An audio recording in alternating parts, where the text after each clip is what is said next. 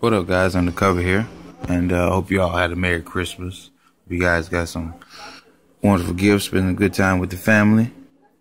But yeah, I've been asked to uh, showcase my helmet setup or my camera setup on my helmet.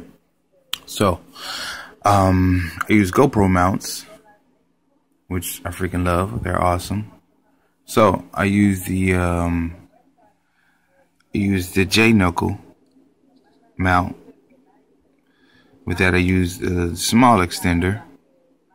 And then connected to that, I use a tripod adapter mount. And that's connected to the skeleton case of my AS30V. Yeah, which is dusty. Ugh, that's nasty, nasty, nasty, nasty.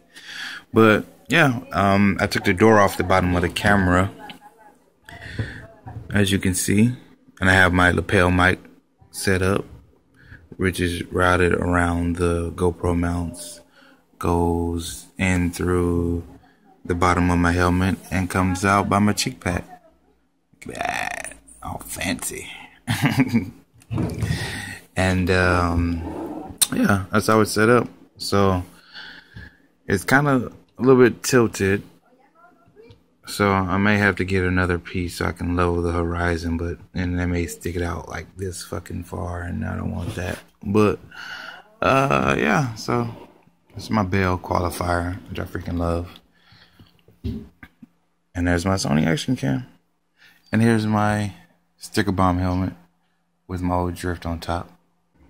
And 187 midship, my sticker, which you guys can win my previous video. Go check it out if you haven't already.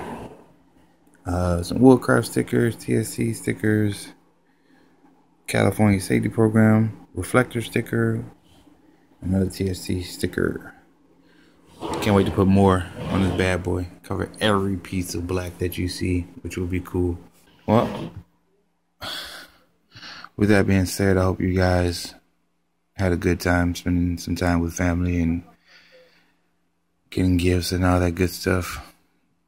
And uh yeah, I'll catch you guys on the next one. Peace.